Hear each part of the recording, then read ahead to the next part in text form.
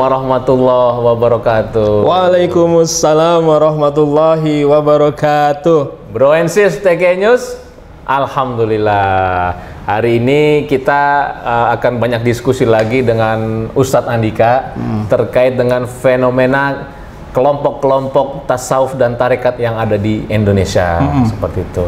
Namun sebelumnya nih Bro and sis perlu kita ingatkan juga nih Ustadz Yap. bahwa acara ngopi ini itu selalu tayang setiap hari Sabtu. Sabtu. Ustadz. Hari Sabtu jam Jam 7 pagi. jam 7 pagi. 7 pagi. Nah, supaya nggak ketinggalan, Bro Enesis jangan lupa subscribe. Subscribe ya. Subscribe, aktifkan loncengnya. Di sini nih ya, lonceng. Lonceng. supaya kenapa? Nanti dapat notifikasi di smartphone kita. Yes. Eh, udah masuk nih episode Ah, yang baru nih baru, ngopi gitu kan. Jadi nggak ketinggalan. Oke, siap ya. Alha- Ustadz Andika, ini ada fenomena menarik Ah. eh, yang kemarin banyak diskusi dengan beberapa teman-teman. Ya. Itu ada eh, anak-anak kan sudah mulai bergairah nih, anak-anak muda untuk Ya, belajar ya. tasawuf, Tasawuf, belajar ya, tarekat. ya. Namun di tengah perjalanan mereka sering menemukan ternyata ada kelompok-kelompok tasawuf atau tarekat yang ternyata kok setelah zikir itu malah kuat di ininya saat ilmu-ilmu dalam arti gini. oh, Kedijayaannya, Ke- kanuragannya, ujung-ujungnya itu. kanuragannya. Nah hasilnya kan mereka yang yang mulai gandrung kepada tasawuf, loh kok jadi begini? Iya, gitu. iya, iya, Nggak masuk dalam uh, Iya, logika iya, ini yang katanya iya. menuju Tuhan. Tapi kok seperti ini? Akhirnya mereka Iya. akhirnya mundur. Iya, iya. Nah bisa dijelaskan sebenarnya apakah ini memang ini komunitas tarekat? Iya. Apakah ini juga sebenarnya hanya mengaku-ngaku kelompok tarekat seperti itu, Ustaz? Iya. Boleh, Ustaz?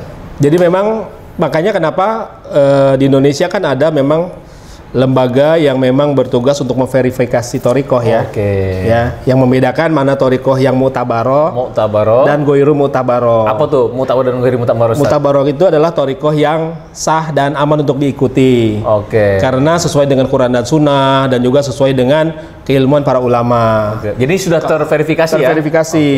Kalau yang goiru mutabaro ya pasti ada cacat-cacatnya dalam hal penyimpangan-penyimpangan Hmm, maupun silsilah keguruannya maupun tujuan pengamalannya Oke. ujung-ujungnya bukan takarub ilallah Ah. malah ngejar-ngejar kesaktian kanuragan kedikjayaan dan sebagainya. Oke, itu yang tidak sedikit itu Ustaz kita ya bahas, banyak orang terjebak di sana. Nah, Nah. seperti itu.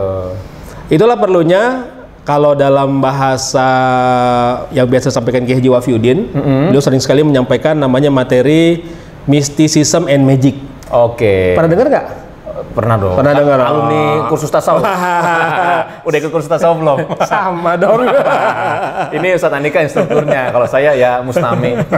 Iya. Nah, lanjut Ustaz. ya jadi mysticism itu ya kalau dalam bahasa Indonesia kan mistik itu ya Mistik. selama ini kan orang ba- banyak salah mengartikan mistik itu diartikan sebagai Klinik. hal-hal yang sifatnya Betul. perdukunan, gitu ya Perdukunan. padahal mistik ini kalau dalam makna definisi sebenarnya adalah pengalaman sadar seseorang berhubungan langsung dengan Tuhan yang maha kuasa ya eh, terhadap hal-hal yang kemudian eh, kejadian-kejadian fenomena yang tak terjelaskan secara akal Oke. Ya. Metafisik lah ya. metafisik, ya. Jadi kata kuncinya sebenarnya tiga kata kalau mis- pengalaman mistik ini ya dilakukan secara sadar, Sadar, adanya kontak ilahi, kontak ilahi, yang ketiga itu adalah eh, tidak terjelaskan atau apa istilahnya tidak masuk akal ya Oh, bahasa oke. gampangnya irasional. Irasional. Nah irasional yang ketiganya. Oh. Nah itu adalah definisinya ya. Definisi mistiknya, mistik tadi ya, mistik. Kalau dalam bahasa agama sebenarnya mistik itu ya tasawuf itu mistik. Oke. Jadi, de- uh, uh, mistik definisi ya. Definisinya pengalaman sadar tadi. Pengalaman sadar, Terjadi ada kontak keter- dengan ilahi, ilahi. dan ini sesuatu yang bersifatnya irasional. irasional gitu. begitu. Oke oke. Mm-mm. Nah, lawannya tadi dalam mysticism and magic ya. Kalau magic bahasa sederhananya sihir. Sihir. Sihir. Ya sihir itu kan Oke. s- ya kalau kita tahu sihir artinya suatu hal yang kelihatannya sama juga irasional juga, menimbulkan keajaiban-keajaiban juga.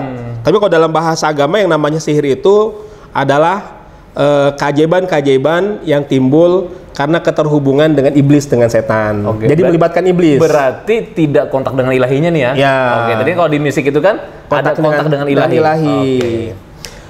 Kalau secara praktek pengamalannya, mysticism dan magic ini ya hampir sama. Karena melibatkan ya amalan-amalan ya. Oke. Amalan-amalan. Kalau misalnya ada juga yang melakukannya dengan memperbanyak puasa, Oke. memperbanyak zikir. Oke. Ya, sama tuh. Oke. Bedanya di mana? Bedanya di motivasinya. Motivasi. Ya, di niatnya. Heeh. Sebenarnya di- amalinya juga sebenarnya sama dalam arti melakukan sebuah eh, ritual yang Ritual. dilakukan itu juga ya. eh, komunitas tarekat ya puasa, zikir gitu Ustaz ya. Sama Tapi mirip. beda di motivasi. Motivasi. Apa motivasinya biasa itu Ustaz? Kalau motivasi yang mistisisme, yang tasawuf itu, itu kan mendekatkan diri kepada Allah untuk berserah kepada Allah, Oke. ya kan?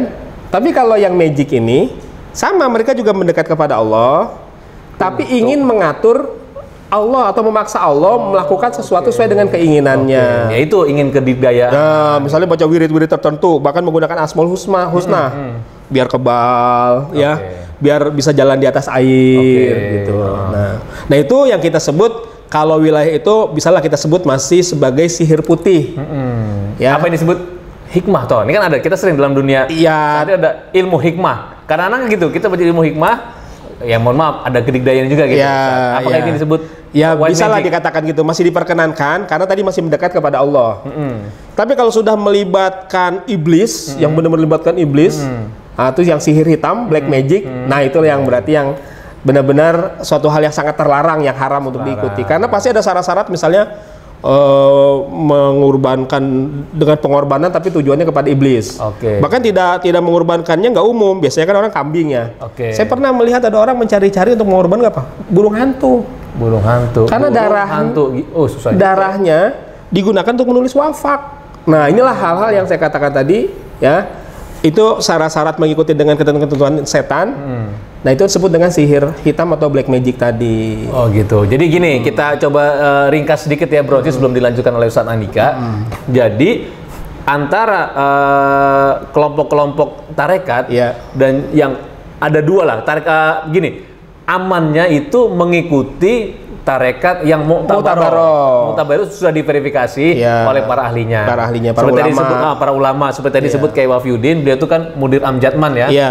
Berarti asosiasi yang uh, pengamat terkait di bawah Nahdlatul Ulama. Ulama. Nah, yang Ghoiru Mutabaro itu yang tidak berlandaskan amaliyahnya Syariah. syariah, dan Ah. tidak Adalah penyimpangan-penyimpangannya penyimpangan dan tidak Iya. tersambung sampai Rasulullah. Rasulullah. Oke. Termasuk dalam tujuan-tujuannya tadi, Oke. bukan takarub ilallah Ah, begitu. Dan komunitas yang tadi disebutkan uh, banyak tidak sedikit yang akhir kedikdayaan itu sebenarnya berarti bukan komunitas atau kelompok tarekat. Tarekat. Ya, karena tujuan atau motivasi tadi itu saat ya. Iya. Kalau kelompok kan berpasah mendekat diri Mendekat kepada diri Allah, Allah, siap diatur oleh Allah. siap diatur Allah. Karena berserah diri kepada Berserah Allah. diri. Nah, kalau satu lagi ini mendekatkan Mendekatkan diri Allah kepada untuk Allah sesuatu ya. untuk sesuatu bahkan istilahnya seolah-olah mengatur Allah. salah mengatur Allah. Karena ibaratnya gini, yang namanya kulit itu kena pisau kan berdarah. sunatullahnya begitu. Sunatullahnya. Maka dia mewirid-wirid itu memaksa terjadi sebuah kekuatan supranatural agar dia tidak berdarah. Oke. Yang namanya kulit itu kalau tangan kena api terbakar. Terbakar. Dia mengamal wirid-wirid tertentu, Betul. memaksa agar surat tidur tidak berlaku, Oh. dia menjadi tidak Oke. terbakar. Dan terlebih lagi kalau itu menggunakan iblis atau setan. Nah, kalau itu yang namanya Black, Black magic. magic. Nah, kalau untuk hikmah itu memang ada tujuan ke Allah, Iya. tapi memang menggunakan apa namanya bu- bukan yang tidak semata-mata karena ingin mendekat menjadi Oke. yang siap diatur oleh Allah begitu. Dan sebenarnya untuk belajar tasawuf itu lebih tepatnya tadi memang yang yang mau tabaro, Mu'tabaroh. memang mendekat untuk berpasrah kepada Pada Allah. seperti itu. Apa Sat, bisa ditambahkan lagi Sat? Iya. Kemudian ciri-ciri yang lainnya biasanya kalau yang eh, mistisisme yang menjadi tasawuf yang mutabaroh tadi adalah pendekatan diri kepada Allahnya itu tujuannya karena cinta dan penuh pengorbanan. Cinta dan penuh pengorbanan. Oke. Tapi kalau yang magic biasa itu karena ketamakan, Ketamakan. keserakahan. Oke. dan juga ingin berkuasa, ingin hebat. Jadi kalau yang tasawuf itu tujuannya adalah mengenolkan diri, menjadikan diri bukan apa-apa, bukan Hmm. siapa-siapa. Tapi kalau yang magic itu justru dengan mengamalkannya amalan tertentu membuat dia merasa hebat, lebih hebat dari orang lain. Dan menjadi apa-apa. Menjadi apa-apa jadinya begitu.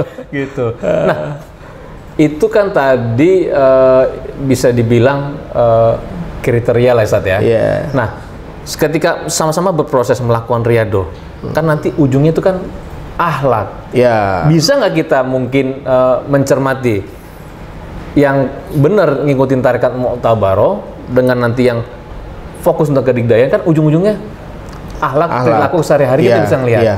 Bisa kita sedikit meng, dalam tanda kutip Ustaz ya, me- menginvest bukan menginvestigasi tapi Membedakan. membedakan, mengenali, mengenali, mengenali. Oh ini memang Iya.